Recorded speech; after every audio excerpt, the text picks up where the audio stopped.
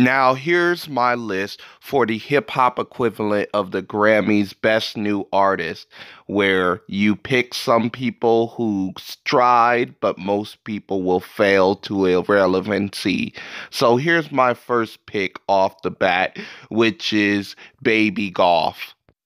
Now, this seemed like a bizarre pick until you factor in the fact that Baby Goth is a internet plant, uh, industry plant. I mean, both plants, if you think about it, who featured with notorious artists like Lil Xan and also Trippie Redd. So she already have the mainstream connections to get a double XL um, pick and also push her um, name further into the mainstream already. So that's why I think that double XL will pick her.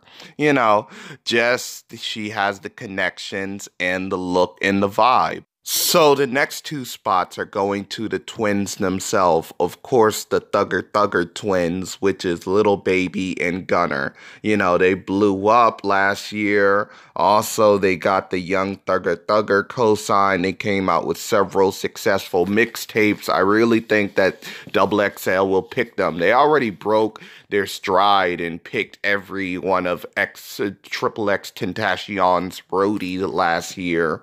And also they picked Ski, they picked um, Smokepurpp, I think they picked uh, Funeral. So definitely they're not they're decided to break the whole thing of not picking groups or associates or affiliates. They just decided to throw that out the window. So I definitely think that they're going to pick these two out of um, the whole rap community. They're, these two are definitely going to get their pick and their share.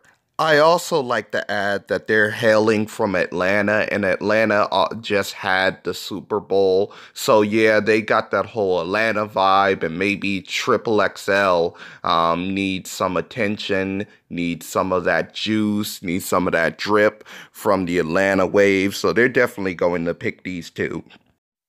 Speaking of Atlanta, let's speak about Travis Scott, who just performed at the Super Bowl. And who's signed to Travis Scott? Of course, Mud Boy himself, Sheck Wes. Now, he should have named himself Sheck East because that's the only reason why he's going to be on this cover. Well, two reasons. Mo Bamba, which blew up last year, but definitely because of the controversy with his video and him not paying his um crew to actually film the video. He definitely got some clout off that. Plus, he's going to drop the song and the video, which will definitely give him more clout. So he's definitely going to be on the list. Plus, he signed with Travis, which I believe he was on the album cover or the double XL cover before. So he definitely have that clout and that connection. So he's so I picked Juice WRLD because his mentor Future was already on a double XL cover.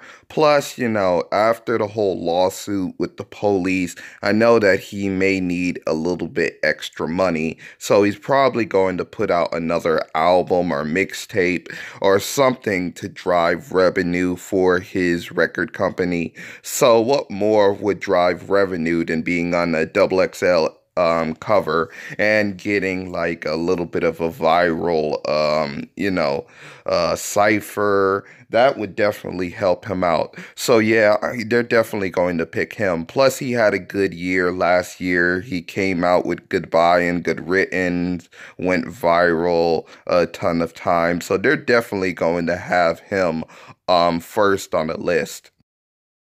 Now, the next person I think that will be on this cover is a man named Joey Traps. Now, he blew up on YouTube a little bit a while back, like a few months ago, and it seems that he already recorded like his uh, cipher and also interview, uh, or maybe he recorded a pitch. It was leaked online like earlier today, and I think that he's really going to be on the cover, and he's a nice guy. If any of you are Joey fans or um, a new discovering or just discovering him, I would say check him out. He's pretty cool.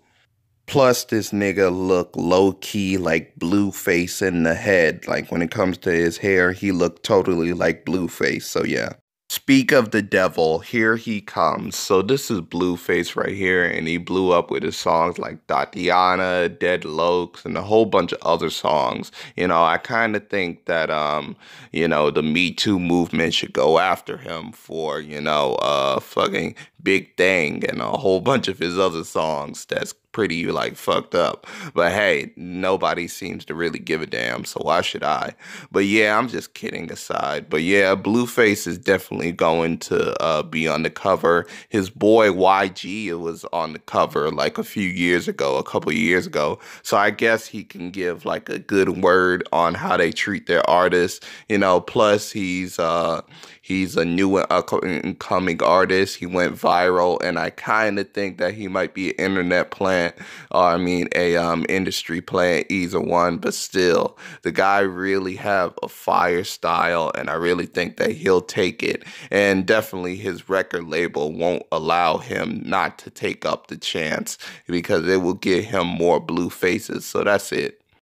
Now, let's introduce you to Crooks, the male version of Stefflon Don, or at least for this co- um, cover, as in he was a little known um, London rapper, I guess, and he got a shout out from Billie Eilish who of course had a song called Bury a Friend where he did some of the vocals. And you know, Billie, she blew up. Of course, Bury a Friend has like 40 million views. So I think that off of the clout alone from that, that he's going to be featured. Plus, they featured like a um, little known um, like London rapper like last year.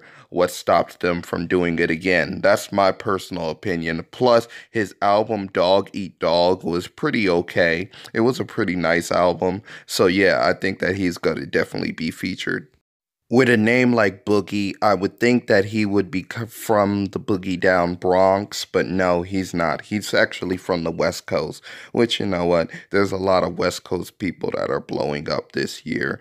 But anywho, yeah, that's what I'm saying. But um, absolutely positively definitely going to be on the um, album cover. Plus he's signed to actual like eminem so definitely he's going to be on the um, cover.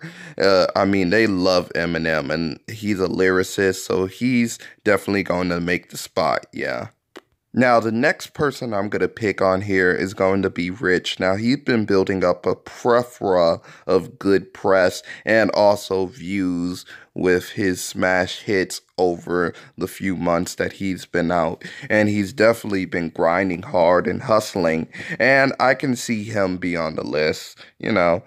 And he's a new up and comer. And most people don't know about him, but all he needs is like one more hit, something to blow him up. Then he'll be good and mainstream and have that pop appeal. And definitely, I can see him signing to a major. So, yeah. So, that's my list. Please hit the like, subscribe, share this video, and I'm out, guys.